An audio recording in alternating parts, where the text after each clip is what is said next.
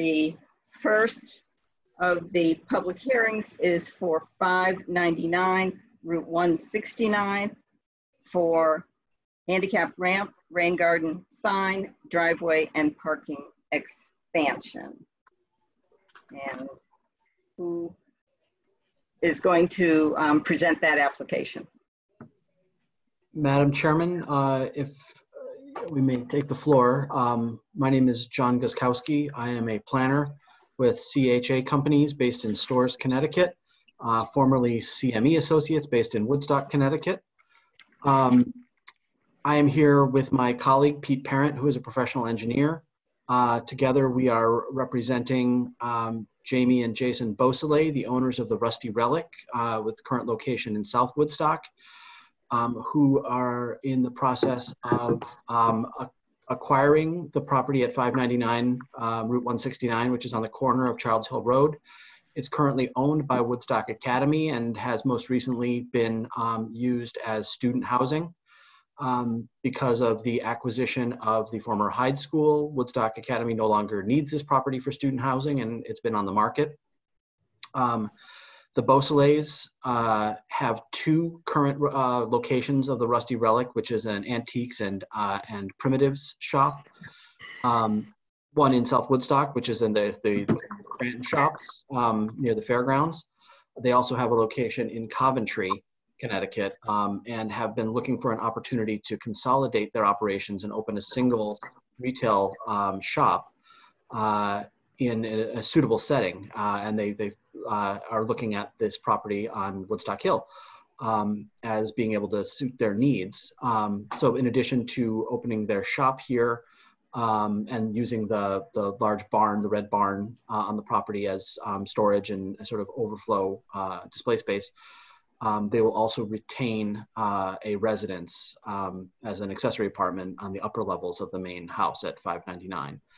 Um, they intend to make uh, very, very few changes to the building itself. Um, more changes are going to be made to the grounds. Uh, it's quite overgrown right now, so there's going to be a lot of trimming back and basically um, formalizing the parking lot. Right now, it's a it's a very poorly poor condition um, dirt driveway. Um, so we'll need to uh, establish a, a, more formal parking lot um, that'll be mostly gravel, a couple of asphalt parking for handicap requirements, and then we will be looking to add um, a handicap ramp along the um, west, I'm sorry, the east side of the building, wrapping around to the porch. Um, I believe it's the east side of the building, the Child Hill Road side of the building. Oh no, so I guess it's south. Um, and uh, uh, wrapping around to the existing front porch, which will be the main entrance. Um, and uh, I could, I, if we if we can share a screen, I don't know who's who has the charge, we can show you the site plan and my uh, colleague Pete can walk you through um, the, the physical changes that we're proposing for the site. And then we have a rendering of the proposed addition to the building, the, the walkway. Um, um, let me see if, I believe I have, I should have the documents. can, Yeah, you can, you should be able to go ahead and share. okay, let's see. Uh, Pete, are you turned on on your, your microphone? Yes, All right, I'll go to the, do, you should I go to the site plan? The, uh, yeah, that'd be the best plan. and I'll zoom in. Can everyone see the site plan? All right, let's, uh, let's see, take, that's good. Uh, So, so as John mentioned, uh, the main um, modification to the site itself will be the addition of the gravel parking area. Uh, Currently, there's a a gravel drive there that is in very poor condition. Uh, We'll be formalizing that area to create uh, parking for about 20 vehicles and then some overflow parking uh, further to the west. Uh, That'll be grass surface, but will be able to be parked on. And then the, the two accessible spaces uh, required by building code. Um, the parking lot will have a gravel access dri- uh, gravel access walkway that will connect to the access way from the handicap spots. Uh, that surface is yet to be determined, but it needs to be either asphalt or concrete or some other hard surface that won't uh, get muddy and you know move under the weight of a wheelchair. Um, and that leads you to the location of the, the proposed ramp that along the east side of the building up to the main gate, uh, main front door there. Um, in order to uh, treat the stormwater from the new gravel area and the impervious areas from the walkways, we're uh, posing a couple of rain gardens uh, within the site here, kind of trying to wrap them around the existing trees so as not to disturb as much of the existing vegetation as we can uh, from a mature tree standpoint. And then the, the existing drive out to 169 uh, will remain open for entrance only for the residential use, but will be closed to commercial use based on uh, input from our traffic engineer. Um, that's pretty much the, the bulk of the site modifications. Um, everything else will be interior to the building. Um, you also have a sign on your application? Yes. Uh, so the um, the sign is an existing sign, and I'll bring it up on the screen. Uh, can people see that all right? Yes. So this is the sign if you've driven into South Woodstock. Um, this is the sign that's currently visible from Route 169 at the, uh, the, the, former Scranton shops. Um, it's, you know, wood, uh, non-illuminated. Um, this would be the, the primary sign for the Rusty Relic um, on at, at and it would be I, I, have the site plan back up again. It would it would go somewhere in the in the setbacks or you know behind the behind the setbacks towards the corner of 169 and Childs Hill Road. It would go if you can see my mouse it would be in this area a little bit. But it's it's a sign that's already on Route 169 uh, and if you if we will as long as we were, we're showing pictures um, I have uh, this is a picture of that sort of southerly, um, easterly corner of the house. You see, it's with the rhododendrons and it's quite overgrown. Um, but you can see the, the, the, the, porch here on the left side of the screen. Um, this will be the approach uh, that will be wrapping around that side of the building. The parking is will be behind the, the rhododendron there and coming up this way. Uh, and then the, the proposed porch, and I apologize for the color, um, but this is basically a rendering of what the porch would look like. We'd make it the, um, we'd elevate it with, you know, brick or concrete and um, basically match the existing railing with, with wood. So this appears gray, but it would be white. Um, and obviously these would be uh, ADA accessible and, and built to building code but that's the only exterior modifications we'd be proposing to make. And that's really it. It's a relatively small change, um, other than other than obviously the change of use from residential primary to um, a, a, commercial facility. But the Beausoleils, you know, love the love the house. They love the the location and the appearance of the yard and the grounds, and and want to want to um, benefit from that existing character rather than to try to modify it. Um, and that concludes our presentation, Madam Chair. We're happy to answer any questions. And if you'd like, I can stop sharing my screen or, or unless you want to keep it up. Why don't you leave, leave the screen up to allow us to um, use, make use of your, um, your images um, during the questioning period. Very well. Um, commissioners, um, then this is the opportunity to request information of the applicant. And just raise your hand if you're able to. I have a question, Harold Bishop calling. Uh, it doesn't appear in the photograph that you have any access to this ramp from anything, uh, I'm sure you have to have some gravel or cement walkway into that uh, rampway. So if you can answer that question, I would appreciate it. So Pete, do you want to answer that? Go ahead. Sure. Uh, so from the, the accessible parking spaces at the, uh, the south end of the building here, there will be either a, a bituminous or concrete or some other hard surface walkway that runs southerly and then turns into the building and meets the bottom of the ramp. Do you have any, uh, to see, do you have an image of that location? Let's see. Um, of the location of, From the parking where the, um, the accessibility parking will be located and then where you're proposing to okay. put the, um, the walkway? So this gives you that, that pathway. Um, so it would, it would approach from, if you can see way back here, if you can see my mouse, there's a red car Mhm. in the background. That's basically the parking area. And it would come up the lawn this way, um, past the existing stone uh, steps, and then turn towards the house to meet the ramp. So this this- is, this is the pathway from the parking to the ramp. This is the chair. Um, will this, these, this existing porch and steps remain? I believe that's the plan, right, Pete? Yes, I don't think there's any plan to remove those. So right here, you can see on the site plan, you can see uh, the call out where you can see the steps to the existing porch and the, the proposed walkway goes right past the end of it. And uh, this is the chair again. You should note that the, none of the walkways are part of this application. So they will not be considered at, for approval tonight. I, okay, uh, is that, is a walkway part of your, your charge other than par- parking? Yes, absolutely.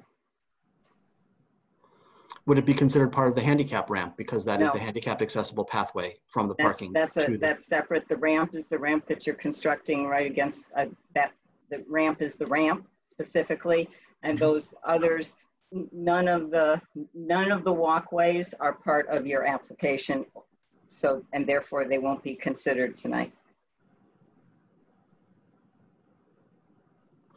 They were all part of the site plan that was submitted with the application. ma'am. Doesn't matter, you, what, when, in my conversation with Mr. Guskowski, I specifically needed to have defined um, so that we could cite, post the legal notice, exactly what should be um, considered for this, um, for this public hearing.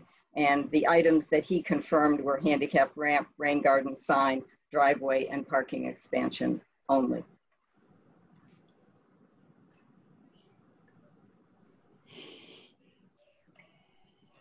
So they'll have to come, if the project goes forward, they'll have to come before us for uh, another public hearing and in, at next, in August.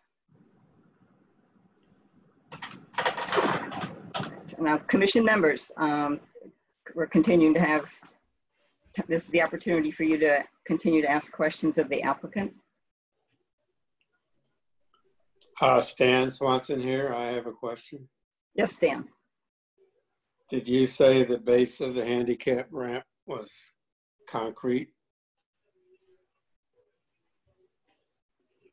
What's, what's the construction of the, of the, It of the ramp? It will either be concrete or asphalt. We have not uh, done that final determination with the owners. But it'll be handicap. Ramp itself? Pete? No, I'm Typically, asking, the, typically the ramp itself would either be a concrete construction or it could actually be constructed of wood. Um, But I believe the lean right now is for it to be a concrete structure. and is there no access behind the house where that could, ramp could go? Uh, Not into the, the proposed retail space, no. All right.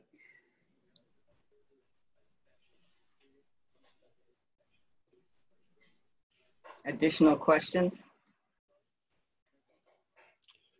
The parking area that you have described in your um, layout here seems to be excessive uh, for a a house house on the hill in the historic district that seems to be more of a commercial nature than it is a residential area. Um, so I'm going to ask the question then. You have 21 defined spaces plus two accessibility parking spaces. And am I correct in understanding that you've got an estimated 11 additional grass overflow spaces? That's correct. Um, Could you give me the, give, provide us with the full dimensions of the proposed parking area? One moment.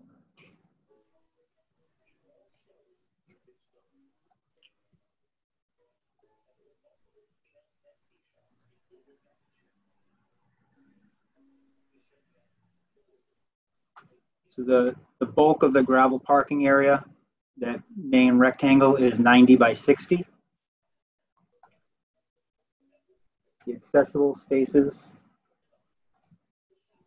are 35 by 20.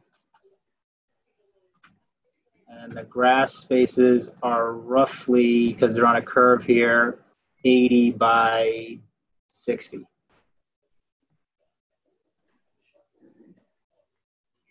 And the, um, the site plan shows a significant number of trees in that, in the area that you're proposing for the parking area.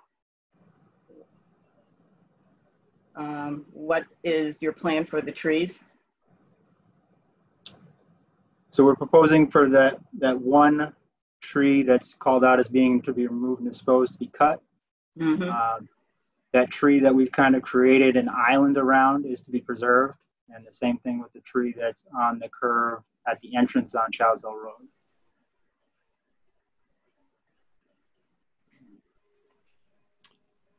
How many trees are you taking down in this plan?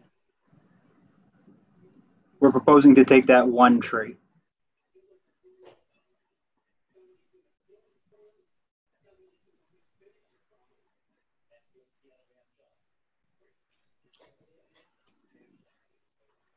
And this is the chair again. Could you uh, refresh our memory as to what the composition of the proposed hard surface parking area is?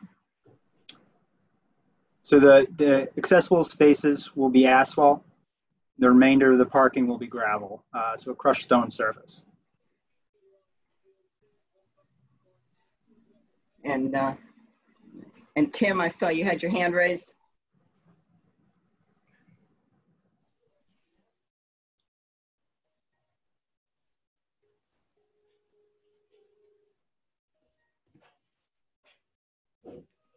Tim Monahan, are you there? You Yes, too- can you hear me? Yes, thank you. He said this was an, uh, an increase in the parking that's already there. How much parking is already there? Uh, is my first question. Two, was there an analysis done? How much parking is needed for a business such as this? It does seem like a lot of parking for the type of business it is. And three, we've been talking about trees. I don't recall that that falls under the purview of this commission. Is that correct? um, to answer that, that um, if there is a significant change to the landscape, then we, it, we can consider it. So, which was why I had that question. Okay. So if you could, um, if one of the uh, representatives of the applicant could answer how much parking is currently there or switch back to the, the, your original, go up one to the original map of the site. That'll show us where existing parking is.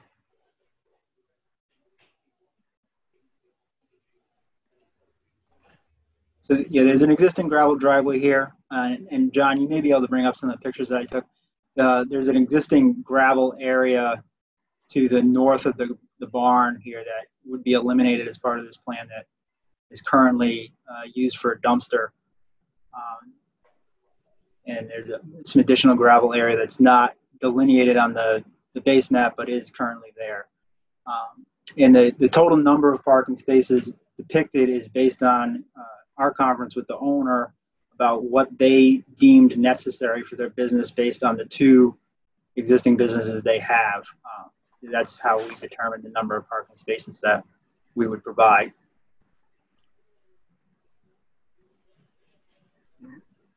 If I look at it correctly, the, the driveway on the right is to the church and the driveway straight ahead is to the barn.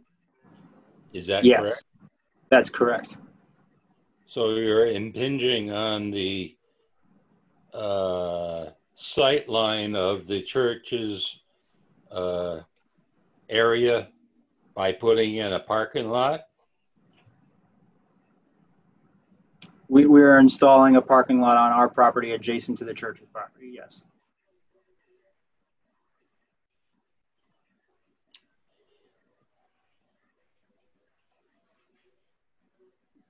Commission members, do you have additional questions?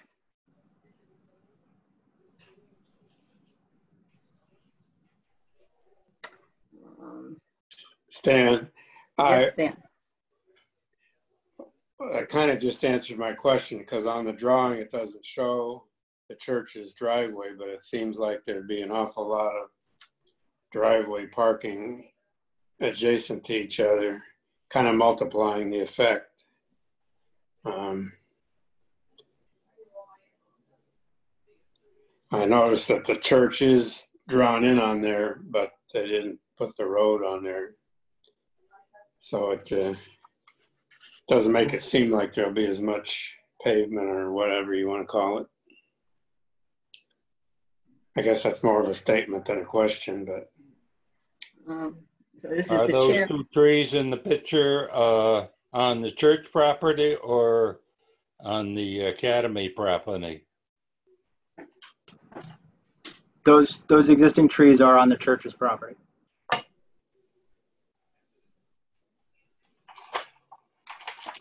So uh, this is the chair using that photograph that you've got right there that you just had up. Could you show us where the parking area, if, if there will be parking in this area, where it begins? Where its edges, boundaries are? Essentially, the edge of the existing gravel drive there will be the edge of the parking. So And then the parking will extend to, towards the building from there. and so this is John Guskowski. If you can picture, just keep the, the location of these two trees in your, in your mind for a second. We'll switch over to the site plan. These are, um, these trees right here.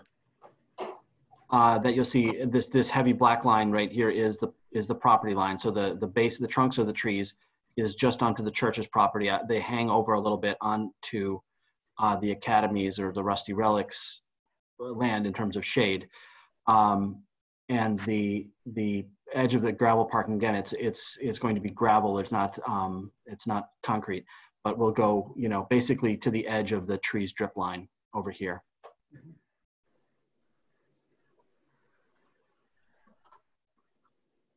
i'll bring that photo back up again which is more or less where the where the the edge of the gravel drive is right now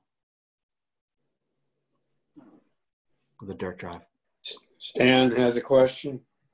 Yes, Stan.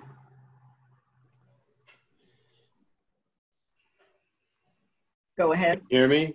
Yes, go ahead. Never know if I got the right thing clicked.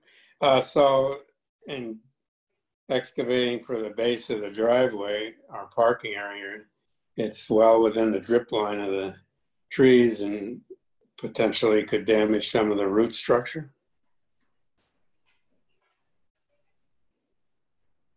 Thereby jeopardizing the tree.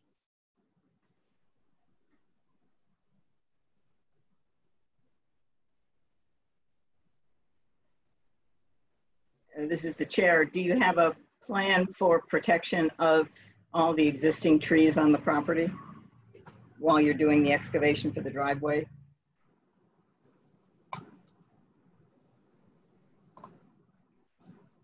if pete was having a problem with the audio pete can you address that Yeah, so I mean, you know, typical construction practice would be, you know, to, to avoid damage to the major roots of those, those trees. Um, certainly we could provide an additional call out on the plan uh, for something specific. Um, but you know, certainly, we're as far or further away from those existing trees as the existing gravel driveway. So at some point, that area has been excavated before. Um, so I, I don't think we would be having a major impact on those trees. This is the chair. I have, I have a couple of questions concerning dimensions. First of all, could you provide the dimensions for the sign?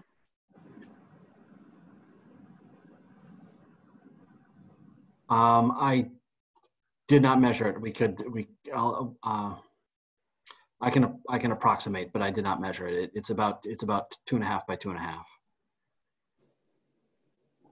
And could you, could you explain to us how it will be um, installed?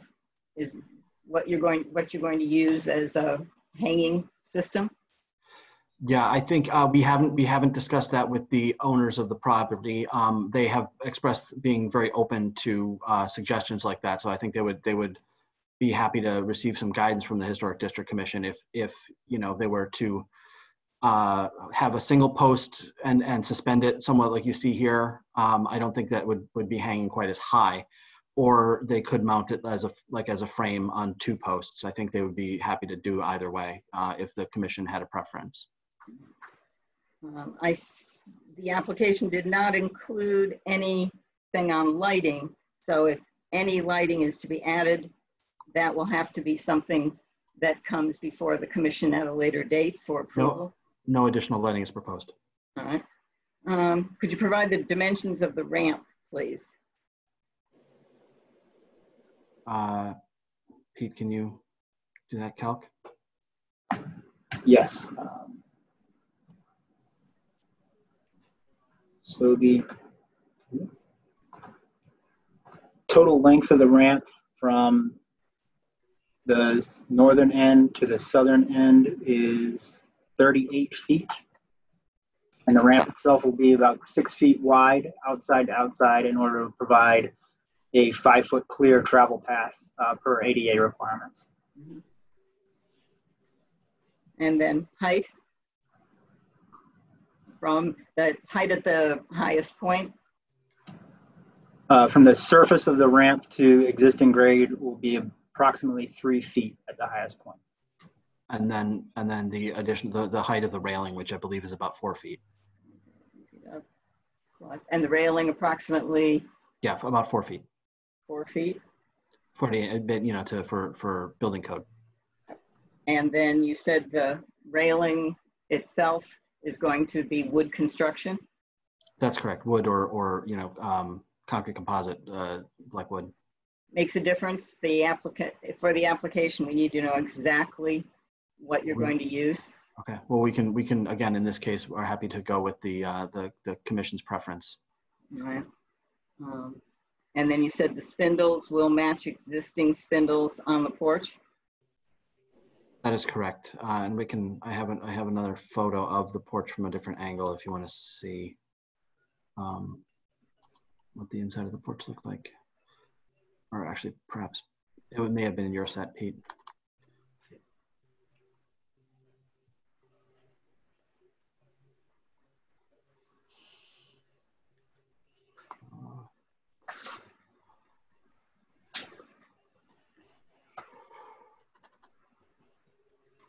Yeah, well, you can see the, the, something of the spindles in here. Right.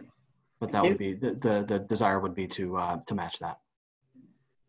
Um, And the next question has to do with, um, the plans seem to indicate that some things were going to be removed. Those are not part of your application. So um, a well house and um, at least another uh, concrete, I think a wellhead, um, you need to be aware that, that um, you'll need permission for those as well. Very well.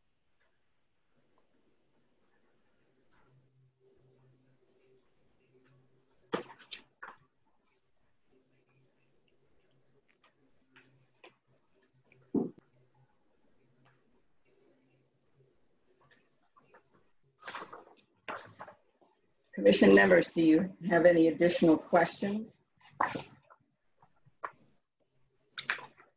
Not a question, but I comment on the parking. I think it's excessive for the use of this property as it is in a historic district. Duly noted. Um, I'm, I, this is the chair again. I um, took, had a look at your special permit um, application for the Planning and Zoning Commission, and I noted that on page, um, let's see, noted page two of the development review checklist, um, under cultural resources, um, you only checked that it was within a historic district and it was a historic structure. Um, you should know that this structure um, and feature are on the National Register of Historic Districts because that's particularly Hill is a National Register Historic District. Um, it is also within the State Register of Historic Places. It's also within an area of high archaeological sensitivity or potential other archaeological significance um, and considered a historic or cultural resource. So those um, I, those items should be taken into consideration in as we review this application and also as as you um, develop work on your plans.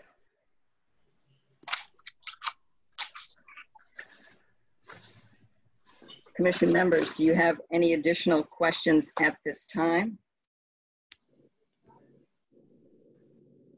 Not from I do not. This is Stan. I, I have no more questions. I think at this point, we'll, I think we'll reserve the right to come back with additional questions before closing the public Gail, I have a question. Yes, Tim? Um, Can you explain how the barn is incorporated into this plan? Will there be any changes to the barn? And am I right to see on that plan that there's a huge concrete apron that will be constructed? And what is that for? Right, so as, as I suggested, as I noted, um, the, the intent, intent at this point is to use the barn for storage um, and possibly some overflow display space if, if it's needed, uh, but primarily for storage. And the, the concrete apron is, is basically to allow them to get things in and out without uh, breaking up the ground or tracking mud all over the place. But that is, a, that is a concrete um, pad in, in front of the barn. That would be new. All right, so that, that will, this is the chair again, that will also have to come before the commission on a separate application. Very well. And um, it's my understanding that there, a dumpster will be located there and a- an enclosure for the dumpster constructed.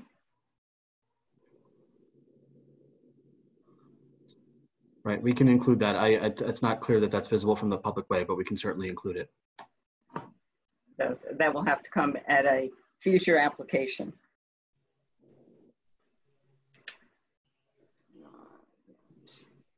At this point, um, I think I, I will open it up for any supporting comments from anyone who is participating in this, this meeting. Gail, this is uh, Patrick Muley at 42 Childs Hill Road. Yes, Pat? Uh, I just like to say is um, I like to see that not many um, of the trees are taken out as uh, what was my understanding before. Um, I don't like the idea of the the property being what it is and this area being what it is. I don't like the to see the giant concrete pad, although I understand its purpose. That's going to be put in, in front of the barn. Um, the biggest issue that, that I'd say I would see as one of the property owners that's closest to this property. And could Is- I just ask you to hold on for just a second with comments you have in opposition? Yeah, not a problem. Well, I, I, I have an, uh, a quick question. Um, so where the well house is, those outlined parking spaces above it and below it, are those the grass parking? That's correct. All right. Uh, yes, Gail, I can hold off on that. Okay, thank you. I just want to, if there are any other um, comments in support of the application, then they, they can be stated now. All right, then we'll call for um, comments in opposition to the application and prior to do, to um, having the members of the public comment, I do want to admit onto the record a number of letters that I received um, and that have been were have been entered um, as part of this application. These are uh, a letter in opposition from um, Jennifer Watson and David Stone, 31 Childs Hill Road. A letter in opposition from uh, Dan and Mary Atwood, 493 Route 169. Um, a letter in opposition from Alexandra Lyman, Route 165, Route 169. Um, a letter in opposition from Rebecca Harvey, Route 15, let's see, Route 169. The letter, a letter from Pat Muley, Route 169. Um, a phone conversation from Marilyn Pomeroy, Route 169. A letter from Jock and Jean McClellan, Route 1, 582, Route 169. And a letter from David Gould, 4547 Academy Road. And I'm going to correct and say that letter from Patrick Muley was, the address on that is Childs Hill Road. And those letters have been, those comments have been distributed to all the commission members with instructions to have read them. Um, and at this time then, I open it up to uh, comment. And I will say that anyone who has written a letter is welcome to also, who has written a letter and that I mentioned, they're also welcome to bring up any of the points within their letter or um, add any additional comments. Don't feel that you have, that was, that was your chance to comment. So I welcome, we welcome all, all comments regarding this um, application. Just use the raise your hand. Um, hopefully, I don't know. And see, Anthony, are you the only one who can see the raise the hand? Yep, I can see it. So I'll unmute it as we go. Okay. I have one right here from David Stone. Hi, uh, thank you. Um, I'm David Stone. Uh, I own the property uh, with my wife at uh, 31 Childs Hill Road, as uh, noted. Uh, we are neighbors across the street from Pat and his family. Um, we are strongly opposed to the proposal. we said we stated the reasons in our letter, so I won't repeat them here, other than just to say we feel it's entirely out of character um, with the fabric and nature of this historic district. Um, and I also feel strongly that this is a case where somebody who currently does not control the property is attempting to change its use completely. And to me, that's very different situation where perhaps a homeowner has, you know, wants to modify their house to make it more suitable to their family, or even somebody who has a long-standing business wants to make a minor change uh, to, to, to, make it work better. Those very different situations to me. Um, but what I would like to do is just ask a couple of factual questions of the applicant, if I could. Yes, that's fine. Um, great. So my first question is, what customer count do you anticipate? There's been talk about how much parking there seems to be and that it's excessive, and that certainly struck us. But I'm curious, what's the customer count expected to be, say, on a weekend per day? We do not have um, exact numbers from the from the ownership. Again, uh, Jamie and Jason Bosley are not uh, attending this this meeting. Um, they they you know believe that the site uh, can adequately accommodate the, the, the customers that they anticipate. Um, is all I can tell you. Adequately constructive, given the amount you know with the parking you're seeking. Um, so my next question is whether there's going to be outdoor displays of merchandise. You've described the barn as primarily for storage. Um, And do I understand that the lower portion of the house will be used for sales? Uh, but is there going to be stuff outside also? How, what, what's the situation with that? Uh, again, we don't have we don't have uh, complete sort of business operations plans from from the Beausoleils. Uh, the the um, main level, as to your question, of the primary building is going to be the major uh, sales space. Um, no, nothing, nothing uh, permanent. You know, no additional structures are proposed. So anything that is placed outside, um, you know, is done so temporarily and will be brought inside.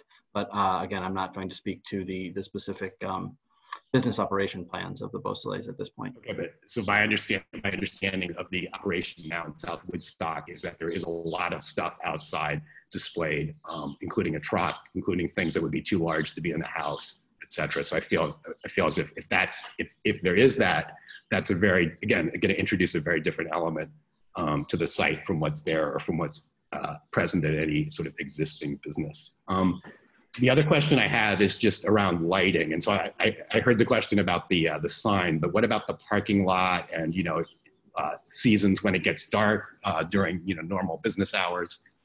How will that work? Uh, there's not proposed any any lighting. The the latest their shop will be open um, is uh, I believe five o'clock. So only at very rare points in the year will you have uh, darkness hitting um, prior to the close of the shop um, and the existing um, uh, lighting from the from the building uh, and the distance to the parking lot is considered adequate at this point. So we so don't we know there's going to be no net new lighting on the site except for possibly the sign. the sign is not proposed to be lit. Oh, okay, I'm sorry. Um, and I just have one other question because I know other people do want to ask questions as well, which is just um, with regard to the parking and how it will, what, what, what it's going to look like from Childs Hill or from some somebody standing on the common. Do you have a rendering of that? I saw the photograph you took, but it looked to me, it looks from your site plan as if that that parking is going to extend almost to Childs Hill Road itself. And, and it also appears as if it's completely unscreened. Can you speak to that? As to what the parking will look like from Childs Hill Road. Yeah, what, what would be the visual? We have not prepared a rendering of the of the future condition parking parking from Childs Hill Road. And is there, is there any fencing or any screening planned, whether it be a, you know, a physical fence or landscaping? Uh, uh, correct me if I'm wrong, Pete, but I don't believe we've we've proposed any new any new landscaping. There is a substantial amount of vegetative cover there, as you can see in the picture behind John here. Um, but yeah, no new landscaping or screening proposed. Okay, so what, what, I- what, just what I'm taking away from where I would live, uh, or from somebody on the common, the parking is gonna be very, very prominent. That's my comments, thank you.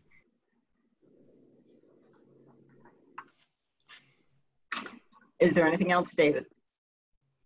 No, thank you. All right. Um, I saw Patrick Muley um, had said he would um, has can't raise his hand but would like to speak. So Patrick, Yes, thank you. Sorry for uh, speaking in opposition a little too early there, Gail. Um, so, if you can you bring back up the uh, the picture of the uh, proposed plan?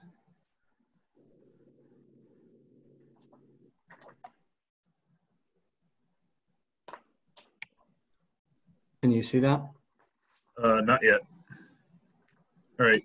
So as I started to say before, um, the again, I'm at 42 Childs Hill Road, uh, right across from the Stones. Um, so I do like to see that, you know, like I started to say before, that not as many trees are going to be taken out. But I still think that even without taking out a lot of trees, the parking lot is going to be very much so of an eyesore, especially of that size. Um, one of the last things that you covered was about the concrete apron right outside the barn. Um, that is going to, I don't even know if that barn has a uh, basement crawl space to it, but it's going to be a fieldstone foundation. So excavating that out um, next to that barn raises the uh, structural integrity question, but also what Gail had mentioned on before was the archaeological value of the neighborhood. Um, a lot of relics are found right outside of barns anytime anybody does any digging. Um, just an observation, because as we all live in town, the the Rusty Relic. I've never been to the other location, only the one in town.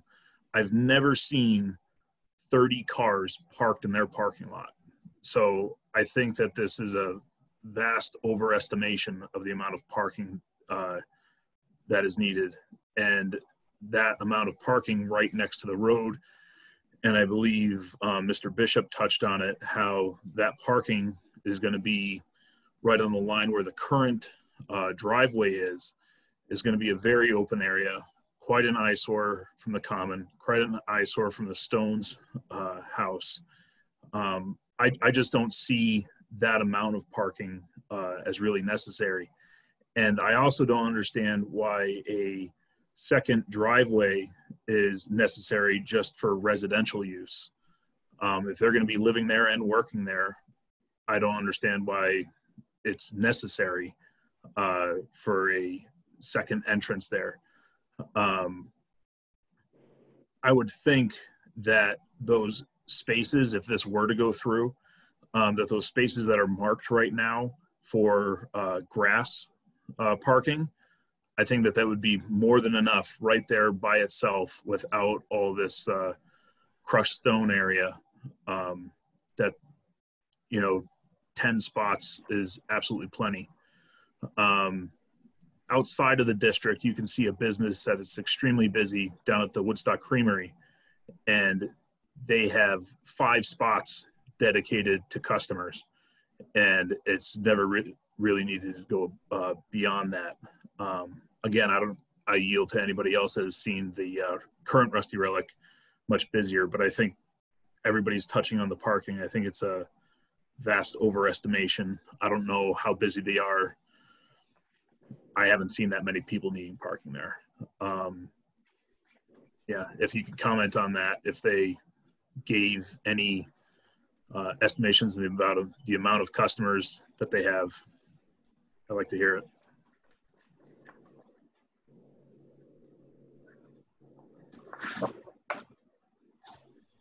All right. Um, let's see. And next, is there anybody else who wishes to comment?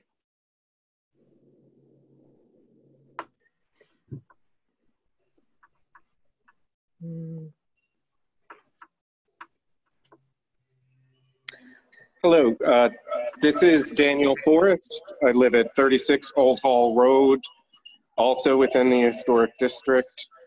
Um, I want to echo my neighbor's uh, comments that the parking appears to be excessive in relation to the existing size of the building and what we are to understand is the retail space that would actually use, be used by customers. The introduction of parking of this scale on this small, relatively small lot, the public piece of this lot that is visible uh, from the public rights of way, uh, is going to be a substantial change in character. Uh, there's going to be a loss of the existing landscape and lawn areas that is going to change the setting for not just this property, uh, but the abutting properties within the district. I also want to comment uh, briefly on the considerations for the Historic District Commission for the handicap ramp that is proposed. I would strongly urge that if the commission goes forward in these considerations, that that ramp be constructed as an independent structure with no concrete actually poured against um, or in contact with the existing masonry of that building.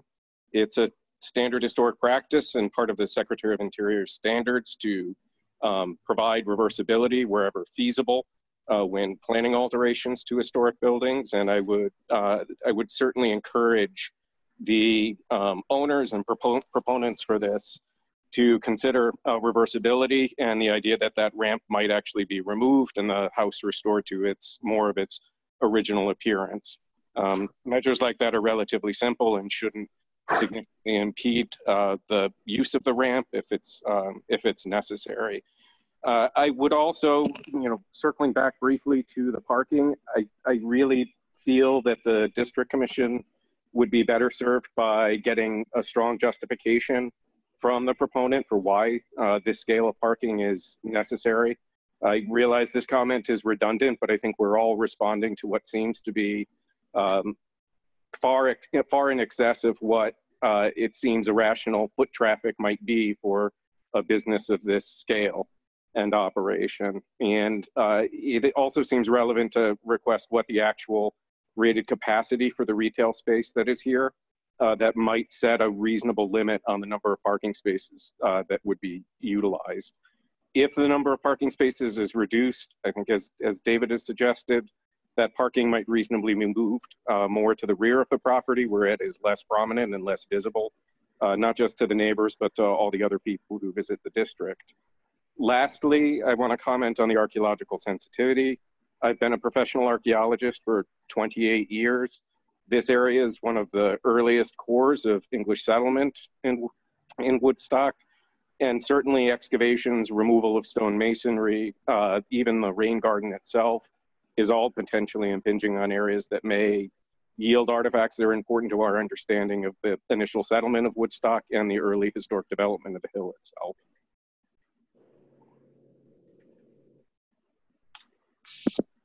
Thank you, Dan.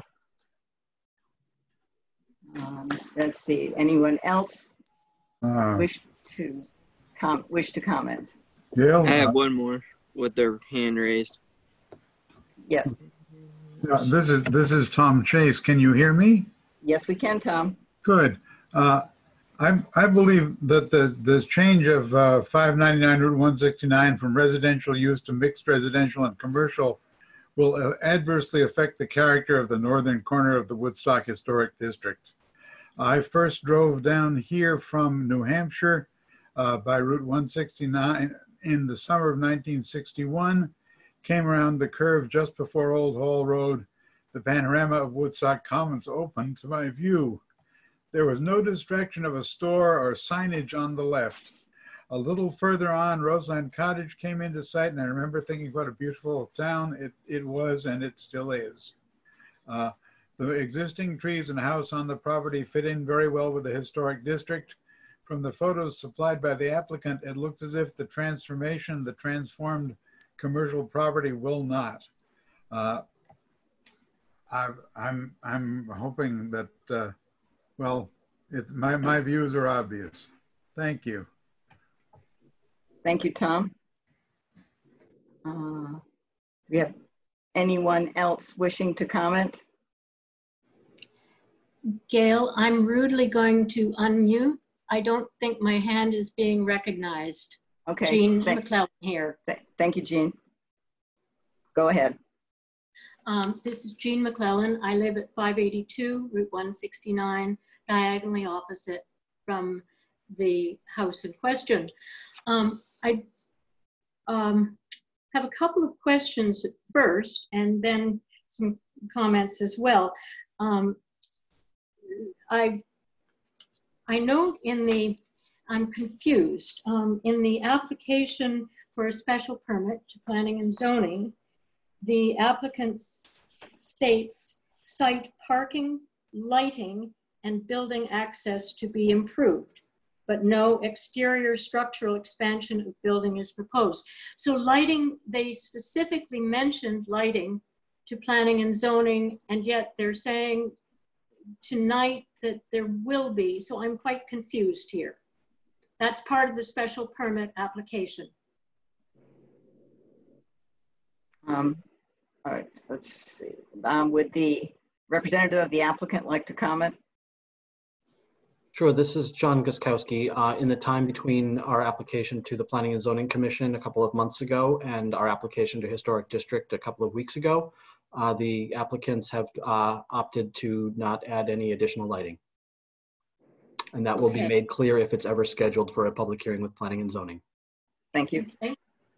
Um, Another question, um, parking is clearly on everybody's mind, I think.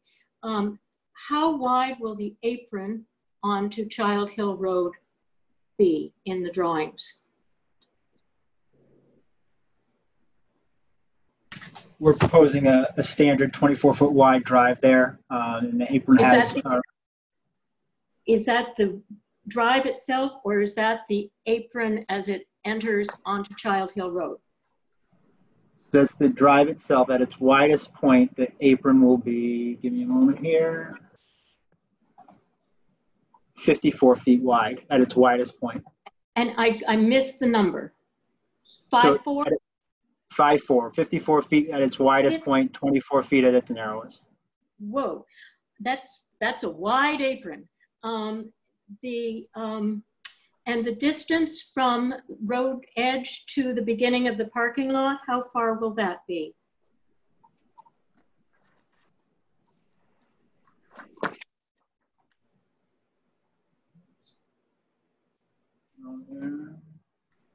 So we are a minimum of 33 feet from the edge of Childs Hill Road to the parking lot. Okay. Um, okay. I have one additional fact to add. Um, the chair has mentioned that this uh, property is not only in the local historic district, it is also on uh, a contributing structure in the National Register District. Um, it's um, on a scenic, uh, state scenic road, state scenic byway, but it is also, and this is not mentioned, at least in the um, application to planning and zoning, it is also a national scenic byway. It is one of only two national scenic byways in the state, the other being the Merritt Turnpike, or Merritt Parkway, I guess it is.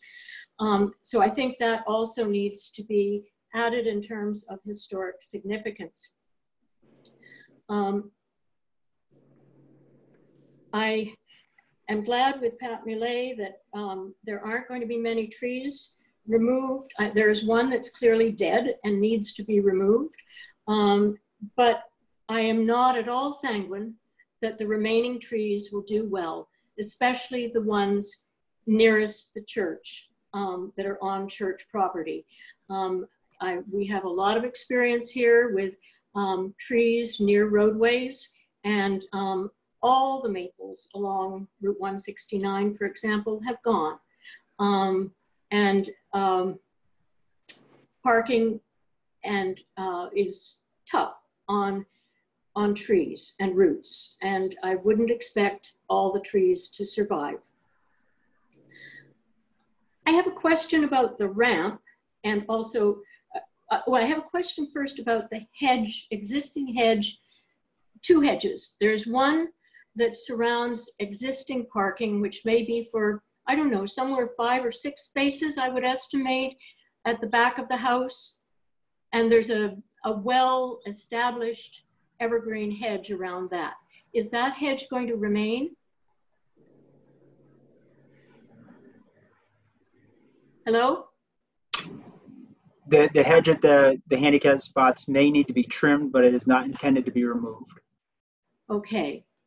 Um, and how about the hedge that goes from the barn forward on the property? From the barn out to Route 169, there's no plans to alter that in any way. Okay. I guess I have a question. The ramp, as it's designed, is in, you know, arguably after you remove some of the overgrowth, as you describe it, um, a very conspicuous and prominent corner of a very prominent building in the historic district. It, would it be conceivable, I remember using that back entrance at what used to be the Chase's house. They used to sell eggs and we went there regularly. And um, the back entrance that's near the existing parking hedge um, could make a very nice entrance to a shop, could it not, with much shorter, allowing parking to be kept back if the parking were limited and um, handicapped access from the back of the building. I gather that's not in the current plans, but I would invite the um, applicant to think about the nature of what they're doing in changing the character of the historic district. Um, I have a comment about the design for the driveway going out to 169 that would remain, but have a sign on it that said, no exit residential use only. Um, I'm afraid I don't have a lot of confidence in that kind of sign. Um, and I also feel that that dangerous corner, we have seen multiple accidents at just exactly that spot, um, would be a very difficult thing for commercial traffic, difficult for residences. And I'm sure the back driveway has been used more than that front driveway. Um, I, um, I guess I, I, have a number of reservations. There are clearly things that have not been spelled out. Um, I wonder about the spindles for the ramp. Um, you say that they will be matched to the existing spindles. Do the existing spindles meet code? For example, and would that necessitate a change? We don't have um, detailed description of that kind of um, that kind of thing. Um,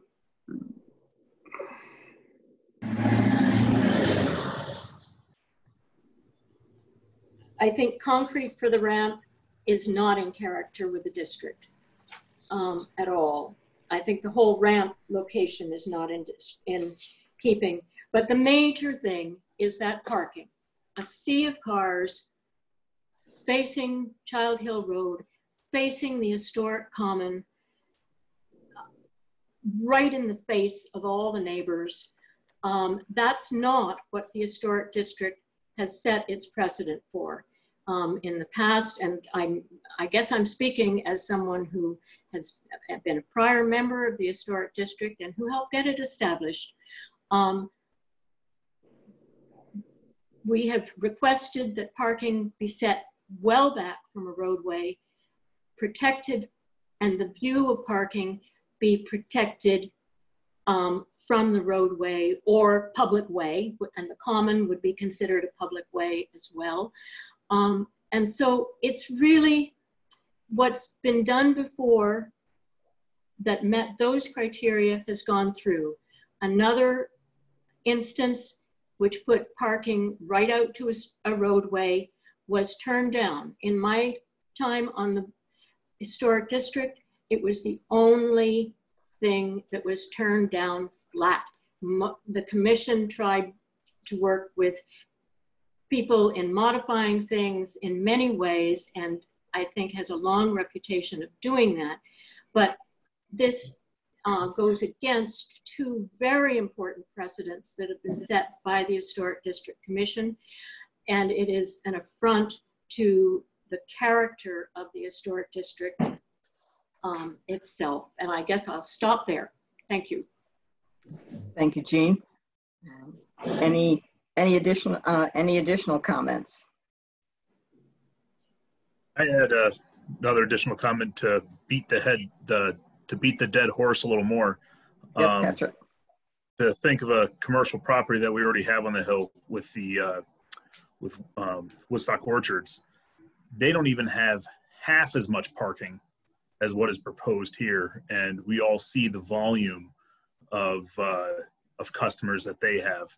Um, I'm not necessarily against the use of this as a shop. Um, I'm against the obviously the parking and how they are looking at changing the property forever. Um, I think a shop within the district isn't necessarily a negative thing. I just think that the all the changing to it that they're doing, uh, again, won't won't meet the district's needs. This is the chair. I just want to point out that we are not, um, let's see, we are not reviewing whether or not it's appropriate for this to, this point, to be a retail business. That's, um, but it's all about the um, the changes being made to the property. Thank you, Pat.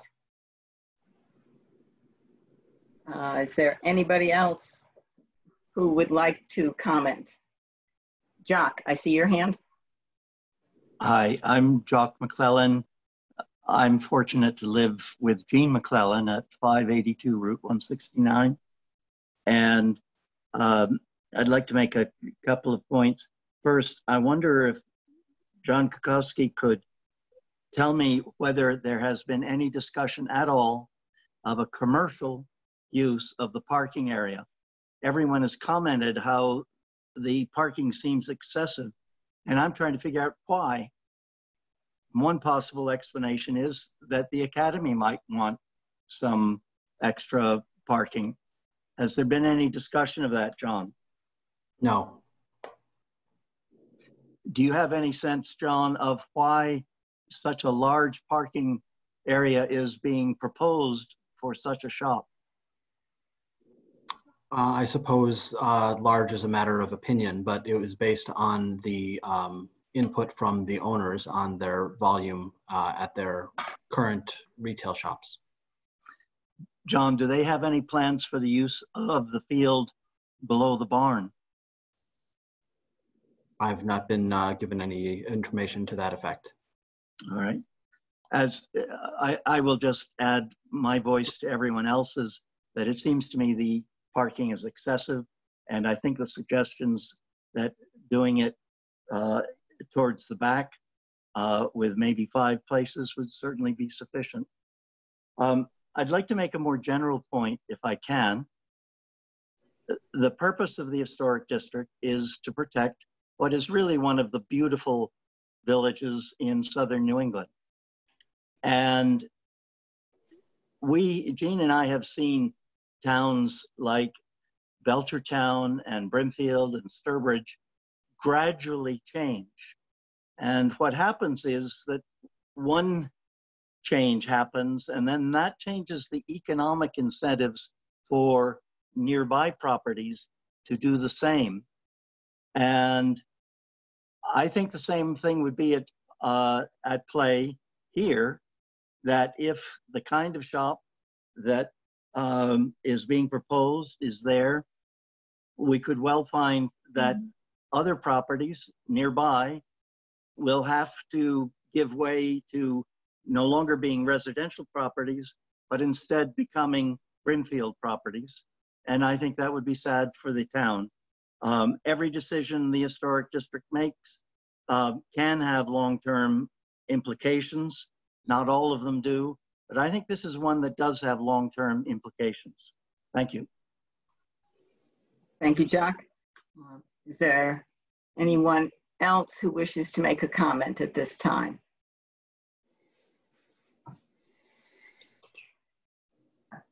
You, I, since I'm not, I'm not seeing any hand. Well, let's see. Anthony would know if there's hands raised. Um, mm, there's none right now. Okay. Um, then at this point, the commissioners have an opportunity to ask any questions of those who have spoken in opposition. No questions. No questions here.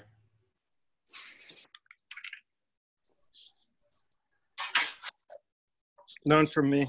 Okay, thank you, Tim. Um, all right, and the applicant's representative can um, comment, make a make any comments he wish in um, response to the opposition comments. Uh, we'd be happy to share your concerns with the uh, applicant uh, on the on the property.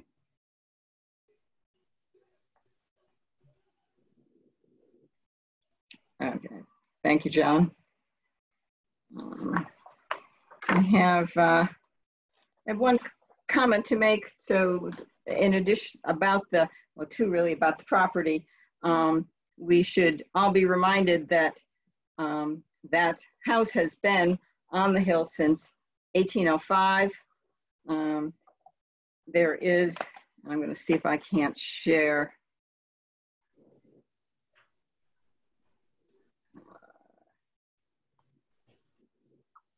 don't know if I can share it. It's not coming up. Sorry, folks. Looks like it's, there it is. This is the historic photograph that was in Journey Through Woodstock, the Woodstock Historical Society's book. It can be found on page 18, I believe. No, 13. Um, this is the Amos Payne House. Uh, the photograph was taken in 1898. Um, but this, this, this house has always been a residence as well as a farm. Um, it it was a was a doctor's office, but that was in the early days. Um, it has maintained its pastoral aspect, anchoring the north portion of the common of the of the common since it was first um, first constructed, and now anchoring, serving as one of the anchor points of the his, of the hill itself. Um, it was a property. It's a property that is used to defi help define the residential character of the district. And since it is the mission of the Historic District Commission to maintain that those character defining features, we need to take its its use and its position in the um, as part of the district in our deliberations. Um, is does there let's see is there anyone who wishes to add any further comments in opposition to the application?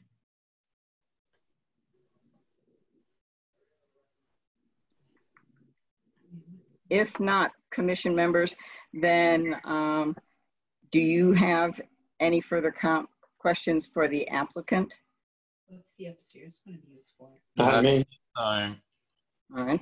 Um, are you comfortable then? We have, we can either close the, bring the public hearing to a close and, and um, take up our deliberation, or we can, if we just need to, if we need additional information, um, we can continue the public hearing. Using any other part Are we ready to close the public hearing and make a deliberation? Um, Mr. Guszkowski? Just a quick question procedurally. Um, obviously, uh, per your per your guidance, we will need uh, separate uh, hearings to cover the walkway, the dumpster pad, uh, the the removal of the well house, as well as the um, the concrete pad in front of the barn. Would it be appropriate to continue this um, and and and open the other hearing to include that so that everything be considered together as well as any changes that the applicant may wish to make, particularly to parking, for instance, at the next hearing? Or do No. we need to have a, a whole new process? No, what we need to do is just, we need to take care of this particular application Very and well. then start a new process. All right, um, then I am looking for a motion from one of the commission members to close the public hearing. Also move. I'll second. Is there any discussion? All in favor? Aye. Aye. Aye. Thank you. Um, The decision was unanimous. Uh, The public hearing is drawn to a close. So what will happen next is that um, the commission members will uh, discuss this and uh, reach a decision. So there won't be any opportunities for, we will not ask any additional questions of the applicant, nor will there be um, any opportunity for public comment at this time. So you should all be muted except for Stan Swanson, Harold Bishop, and Tim Monahan. All right. And does anyone, any of the three gentlemen, do you wish to make any comments? Yeah, sure. Stan, go ahead. Um, particularly the handicap ramp and particularly that it's concrete and also the parking area, proximity to the street and the size of it. And also given the historic nature of the history of the house and the national roadway and the whole thing, I would be opposed to um, granting permission for the ramp and parking lot, the sign.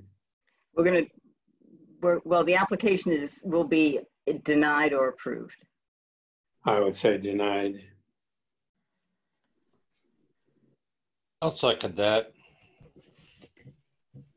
How long will it last? I mean, Are we voting or is this discussion? No, this is discussion, but Okay. Harold was, I think Harold was just expressing that he, he agreed. My, my take is this, I mean, my main concern is the preservation of the house and the barn. And it looks like this plan does that. I mean, I think there are big drawbacks with the views that are going to develop with the increased parking and the the, the ramp, handicap ramp. But I think, you know, as this plan as it stands is not very good, but it could be modified to be workable for the district. That's my take. Thank you. Um, you know, our main, our main, um, charge is to, is to, um, protect, um, the character defining features of the district, and that includes the viewscapes. Um, that includes the very pastoral nature of a significant part of the district. That includes, um, the common, which is, again, part of, on the National Register. Um, and so we need to take into account the impact that parking of that size would, uh, um, would have on the view there. There are four, those are, there are four anchor buildings in that corner. There is the Gold, Gould's house. There is this, this house. Um, there's the McClellan house. And one could say there's also the Academy um, as well. Um, those define that entire North, North Hill section, North Common section. Um, and so our, our concern should be beyond just buildings. It has to be also um, the very, the very nature of those spaces. I'm, I'm aware of that. Um, you know, there is parking in the historic district. There's a church next door that has a large parking lot. The school has a large parking lot. The church has parking. The orchard has parking. Um, those are all within the viewscape of the historic district, and a lot of it's in the viewscape of the historic byway. So, I mean, I don't think it's just parking itself. Parking can be done where the impact is mitigated. You know, we- I think we all agree that this parking is way overboard and it's not justified. But as Jean mentioned, maybe if the parking was placed more in the back, you know, it would not have much of an impact on, you know, the neighbors and the historic district. I think you make valid points, a valid point that, that um, this plan doesn't, it really doesn't seem to have taken into account the, the character defining features of the district and the importance of maintaining those.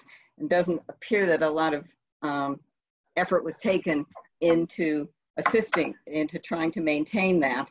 Um, and there are, um, and with the, the existing parking that the, at, the- I should point out that the buildings that all have parking within the district were all, all existed um, prior to the district's formation.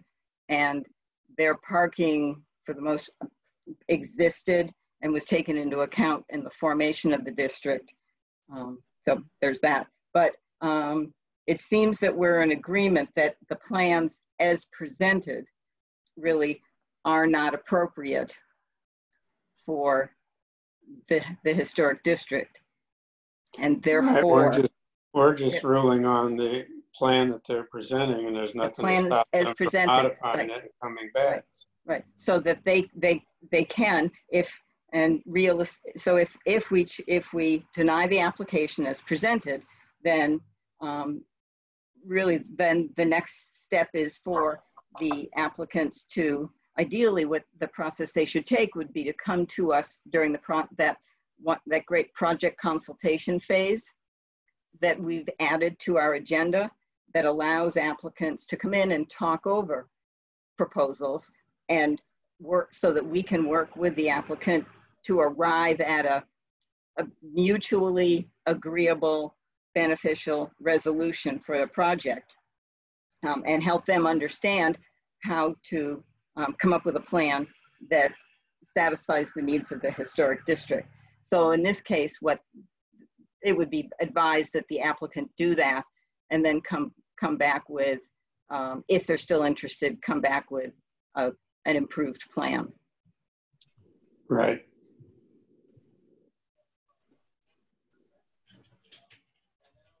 Are there any additional comments, gentlemen? No, I think uh, what you just said will cover that, that they can come back with another proposal. Mm-hmm. All right. Um, And I think if we deny this, we have to be specific about what, you know, concerns us, what could be changed that might, you know, Well- muster What we do, what we, and, and because the um, two representatives, at least uh, two representatives of the applicant are, are hearing this, um, then uh, one is hopeful that they will take back to the applicant um, our desire to work with the applicant to see if we can come up with a proposal that satisfies the requirements of the district. And I think it would be good to have the actual applicant present.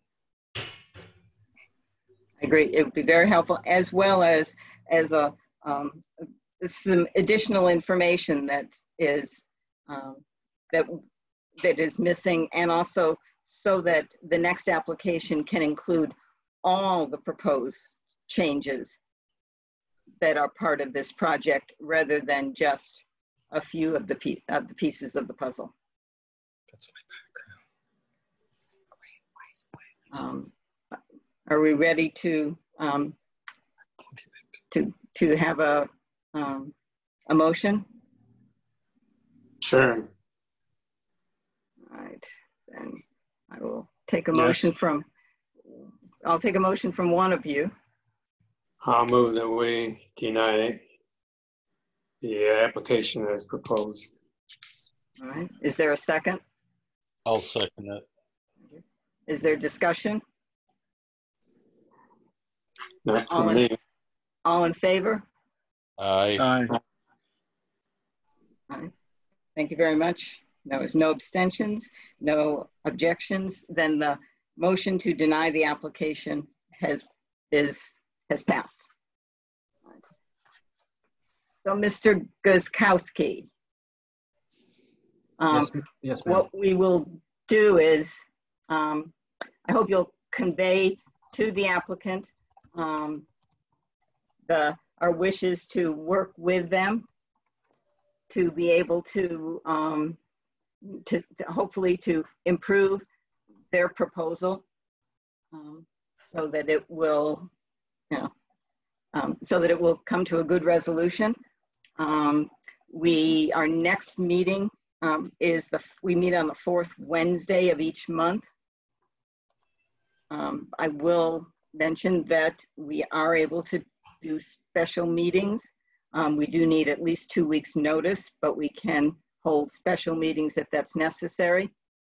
What I strongly, strongly recommend is that the applicant, as well as, as you and perhaps Mr. Parent, come for the project consultation phase or just request a special meeting that's merely a project consultation to be able to really talk at length about the project so that um, every you you and your applicants really understand um, the nature of the district and we understand what it is you're trying to accomplish and we work together for the best resolution. That's precisely what I shall convey to our clients. Good. Thank you very much. All right. And we're not done. Um, we have a second public hearing. Um, we are holding a public hearing on July 22nd at 6:30 PM, which was quite a while ago. This time for 543 Route 169 for roof replacement. Mr. Simakowski, it's your turn at last. May I unmute? Great. Thanks. I'm John Smikowski. I'm a uh, senior trustee with the First Congregational Church of Woodstock. And uh, this particular first part of the proposal is a continuation of some roofing work at the church. Last year I came before you, I believe um, it might have been the end of July as well, for a uh, proposal where we had re-roofed the sanctuary roof of the church with uh, changing from three tab shingles to architectural shingles. We'd like to do the exact same thing on remaining sections of the roof. And we understand that parts of that roof are visible from the road, namely Cemetery Road, where you can see the roof over the office and part of Harrison Hall, the great room hall in the back.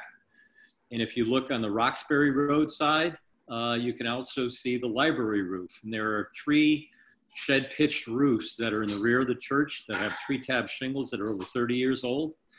And I believe the shingles that were put on in 1990 were 25 year warranty shingles, so we're on borrowed time.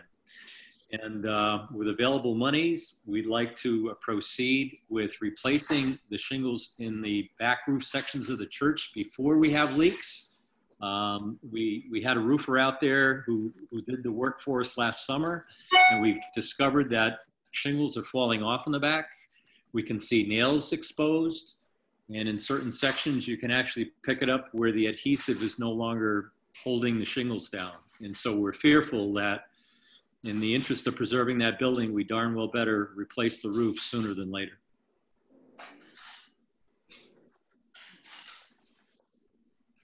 So basically, you're, ju- it'll be the same shingle, shingles that we approved for previous roof sections. Yes. And everything else will, will remain, you're just replacing in kind. Yes. Yeah. And they're GAF, they're the same color as the ones from last time, and they're the architectural GAF shingles. I think uh, we used charcoal to replicate the color of the sanctuary roof original three tab shingles. Uh, Commission members, any questions? No questions.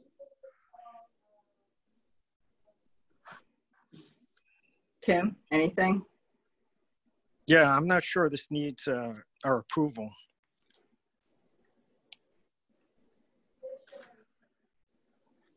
Did you hear me? Yes. I did. Okay. If you're replacing kind, then you don't need this Well, commission's ap- approval. We, we currently have three tab shingles on the roof, replacing with architectural shingles. Okay. Do you have a And copy? this was all discussed last summer. And So that precedent from last summer for the sanctuary roof would carry through to this, would be my opinion. Um, let's see, it appears. All right, then, um, if there are no other questions, I'll take a motion to close the public hearing. I'll move.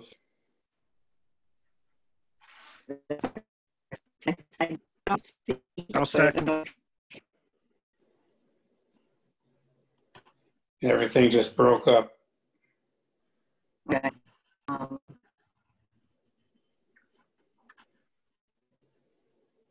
Can you say the part of us?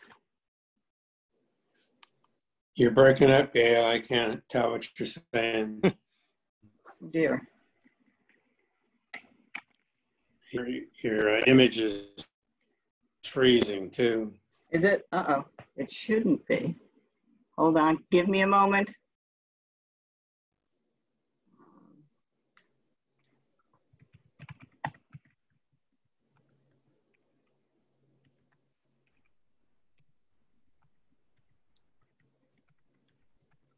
It's working now, but Oh, great, great. As I'm plugged in, so there shouldn't be a, it shouldn't go bad, badly. Um, all right. Then um, I'll take, um, let's see, motion, let's see. Stan, did you, you gave, made a motion to close the public hearing. Tim, do you second? I second. All right. Um, There's no discussion. All in favor? Aye. Aye. Opposed, abstained? All right, public hearing is closed. Any discussion on the um, roof for 543 Route 169? is Jane wanting to? No, I think she's leaving. Oh, okay. Or she's blocking No, herself? discussion, I, it's a no-brainer to me. All right, then I'll take a motion to um, approve the application as presented. So moved. Dan, you're gonna have a second. I'll. Thank you. Um, All in favor? Aye. Aye. Thank you. All right, motion carried. And so, Mr. Simikowski, that is, that's been approved. Thank you. And now the next public hearing today at 6:30 is for 539, known as the Parsonage, Route 169, and this is for porch repair.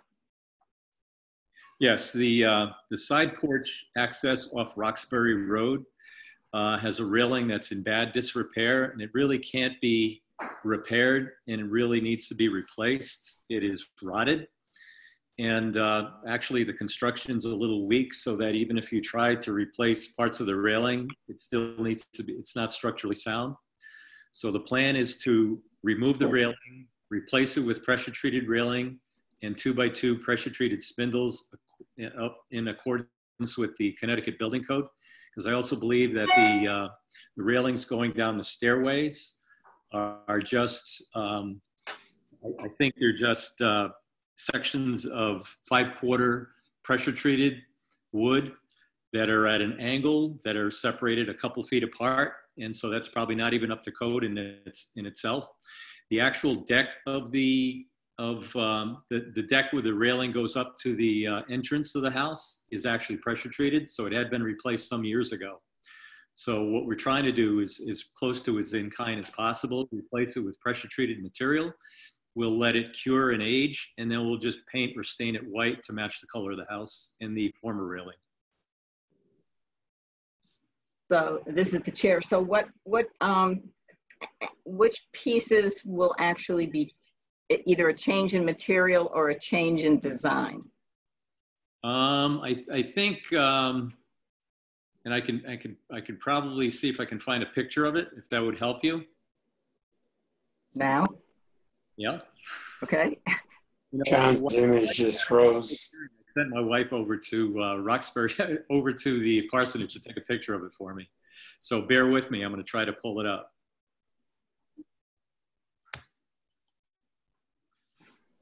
That's not the one. Okay, so how do I share this? Okay. There's a, share. at the bottom of your screen, if you head your cursor toward the bottom, there should be a little green in the middle. There should be something that says share screen. desktop. It says open system preferences. No, oh. I'm gonna hit share and see what happens. Nothing.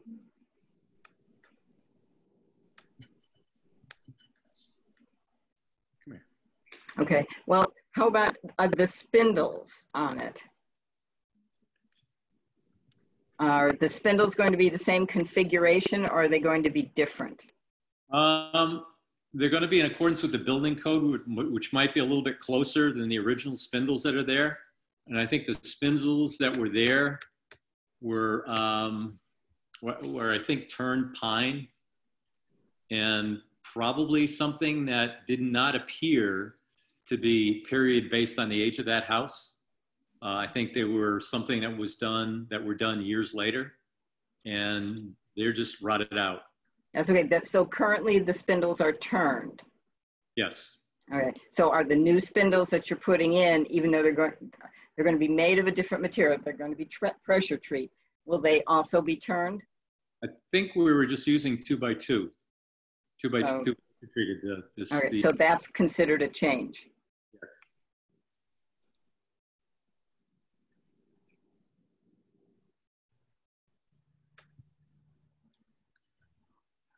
And is there anything else that will be, you, you- you're going to change the, you said the decking was pressure treat, so you're going to just replace some of that?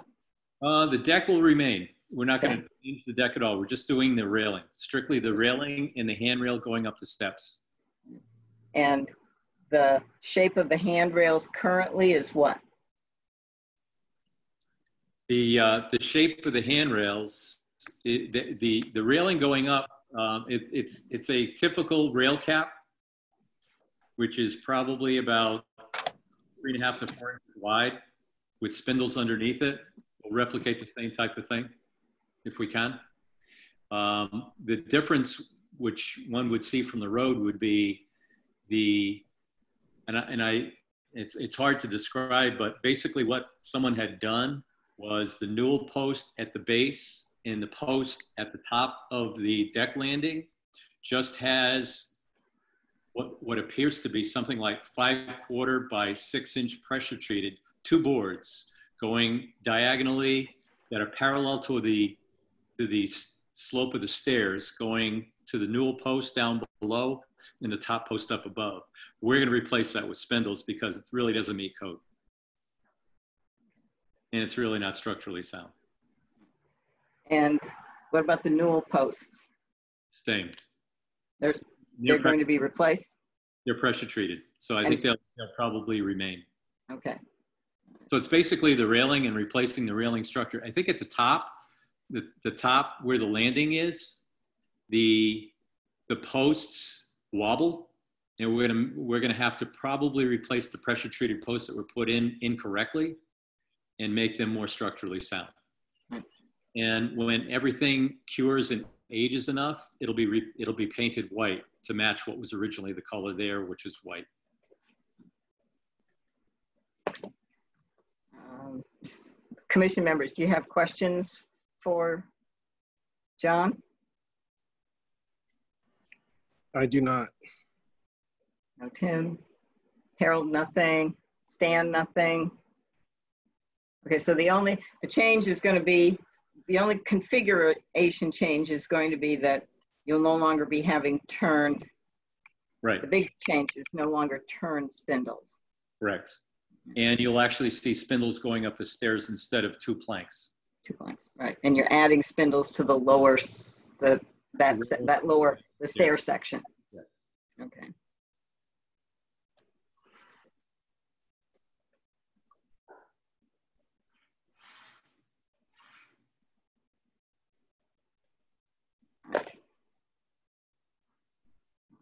No, no one has any further questions?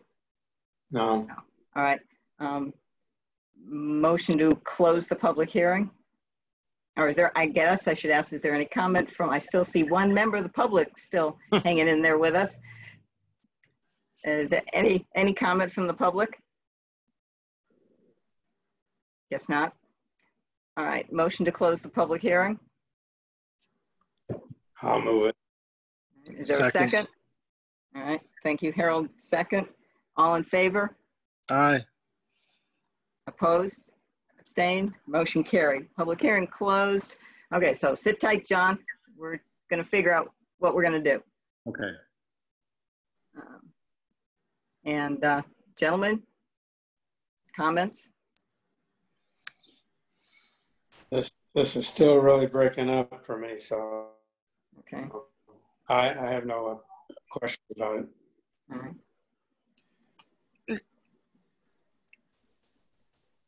Harold or Tim? I mean, ideally, it would be good to have a, a sketch of what's going to happen, but I mean, it sounds reasonable.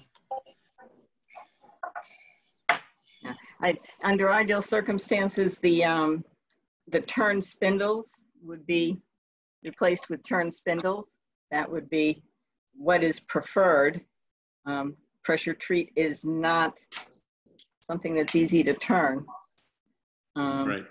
In which case you would end up, if you're replacing with turn spindles, you would make it out of some other wood that's a little more weather resistant.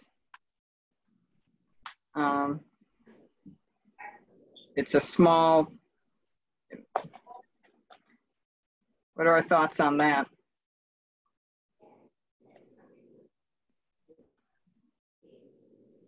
Your audio was so broken up, Gail, that I didn't get what you said.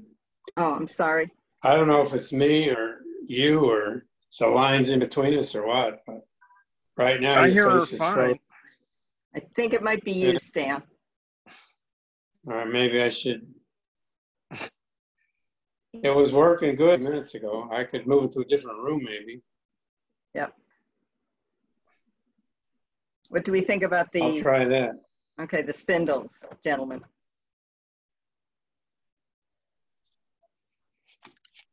I mean, if he can make them the way they propose, that's great. But as you say, it could be difficult. But as long as they use natural wood, um, I'm okay. That would be my feeling. You mean not use pressure treat on the spindles, but use something else that can be turned? Well, I Uh, think their plan is to use pressure treated. Right. As you say, that could be very difficult. I mean, if they can do that, I'm okay with it. But it seems like that may not be possible. So another wood such as hickory, I think, is a long-lasting wood. Stan may know better, but that would also be okay. Well, you're gonna be limited in, in species because of the supply chain. Those kind of things aren't made in hickory or any woods like that for exterior use. Yeah. I, it's, it, I, I think it's, it's difficult because we don't have a picture or a drawing of any sort to assist us with, or even in really locating this particular porch. Um, am I hearing that maybe we're not able to, we're not able to approve the application and that it needs to, we need more information? Well, maybe we should have a picture. Like, I I have to uh, say that I looked at the porch myself and I don't remember if the balusters were turned or not. If they're turned, that's available and pressure treated. And we could vote to go that way in a future meeting. Did I come through? Yeah. Okay. Right. Um, well, what are we, what are we thinking on this? Yeah, we gotta put it off a month. The, the options are we can continue it. If uh, we can, uh, being consistent, we can deny it, and then they can come back for a second, with a second application. with- After some conversation to try and figure out a good solution and with photographs so that we can better see. Or if it's just a, just a matter of getting photographs and seeing, seeing this or going there to look at it, then we can continue it and then, Can I text you a copy of this picture? Or email it to you now, right now? sure.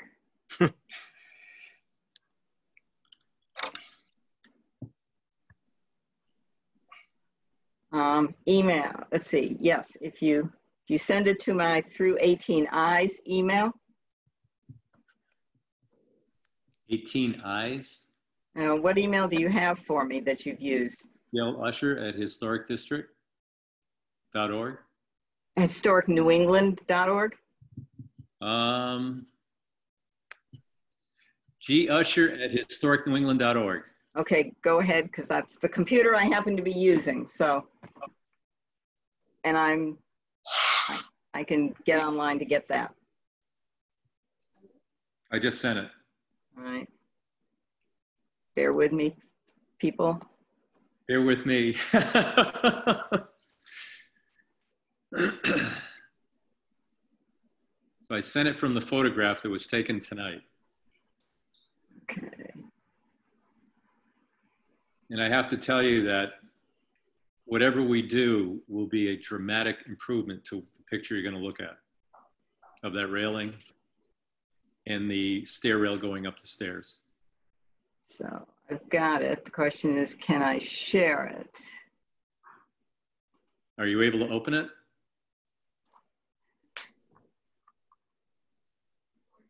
Okay. All right. Um, let's see. I can see it. There. Can everybody see it? Yes. Can you enlarge it? Full screen. All right. So, um, all right. Thank you, John. That's a big help. So is the, is all this trellis Stay. piece, that's gonna, is that gonna stay? Yes. The only, the only thing we're dealing with is the railing up at the top. the Yes. railing going to the house that you really can't see because you're looking straight on. and the railing going down those stairs. And the problem is the railing going down the stairs is not to code, so that would have to be all spindled. And then the railing up along the top, we're replacing that. The, the plan is to replace it with two by two pressure treated, which is readily available. Right. And shore up that post at the top and the post on the other corner, which are weak. The way they're, uh, the, the way they were structurally connected to the framing down below makes them, you can actually shake them and, and that's right. not okay. So as I'm looking at it, it appears to me that the only real change in configuration is going to be, you're gonna add Yeah. um, Going spindles up on this side right here, Yes. on the outer side Mhm. of the stairs. And then, like you said, this, these spindles, you're proposing to just make them two by twos rather than turn spindles. Yes. Okay, I do believe that a very similar turn baluster is available and pressure treated, so we could consider that. Okay. okay.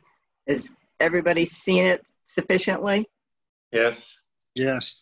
Okay, let's see if I can manage to get out of here. Okay, and back to us. All right. Um, so based on that, it would seem that, um, and based on Stan's mm, statement, it would seem that it's very possible that we could approve the application with the stipulation that the spindles be pressure treat, I mean, be um, turned. If available, yeah. Yeah, well, and if they're, if we Yeah. put that stipulation in, I mean, that depends, we have to, we have to decide really what, if that's important and to be um, consistent, it, it is. Um, it would be preferable to use those. So the options are deny it, have John go out and look and see if he can find those, come back. And then the only, um, then the application is merely one of changing the composition of the wood and adding the extra spindles to the low, to the stair section.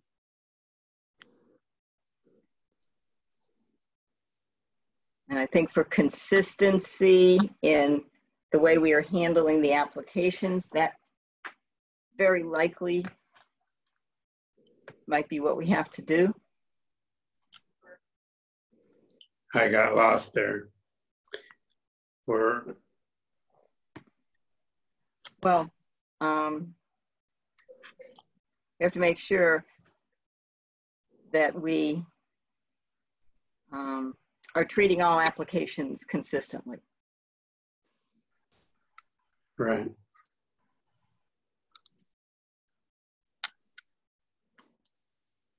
So um, I'm. So Tim, do you I'm have a comment? about what We're gonna move on. Well, which is why, does Tim have a comment?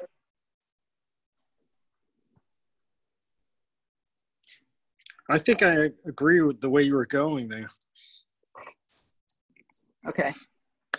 All right, then, um, Good. then we would take, then entertain a motion to deny the application as presented.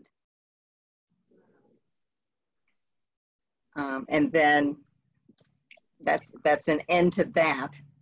Um, however, um, as John has been able to hear our conversation, he knows that really the only issue up is, uh, is the spindles at the moment. So his, for his planning purposes, he can go ahead with everything else and then figure out if he can find those spindles and then come back to us for another, with another application. And as we've said before, John, and I think we did for your previous roof, we can, um, we can hold a special meeting. Or Yes. then you approve it with pressure treated turn spindles. And if they turn out not to be available, I have to come back. So let's see. You're generating and kind of like generating an interrupt and saying that you would like to amend your your the description of your application to be turn that that in your description is will be of turned pressure treated, then we can go forward with that. Yes. Okay.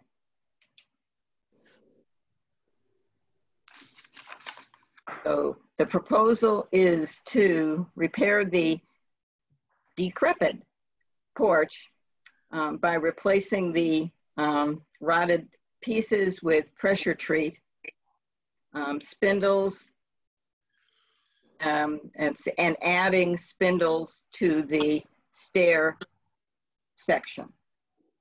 Yes.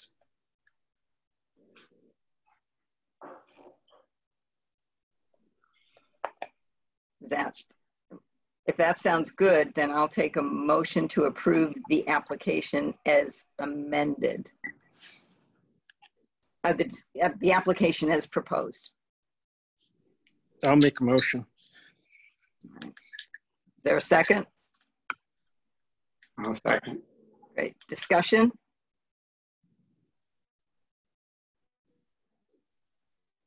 No. Nope. Okay. All in favor? Aye. Aye. Thumbs up or thumbs down, Harold? okay, very good. that makes it easier. Uh, all right, then um, the application is approved as presented.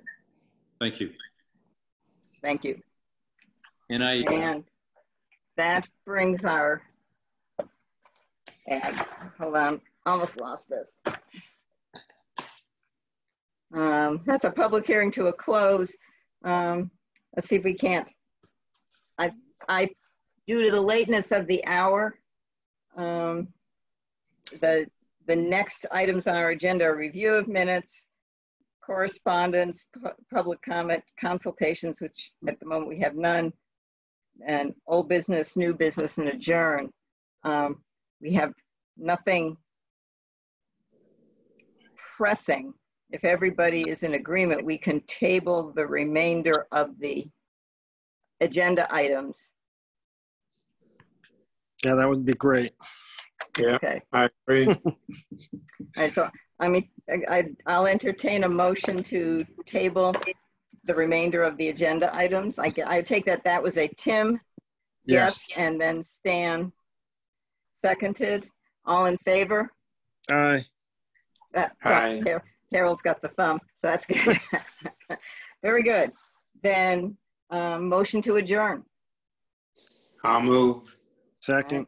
Okay. All in favor? Aye. Aye. Need your thumb, Harold. Thank you. All in favor.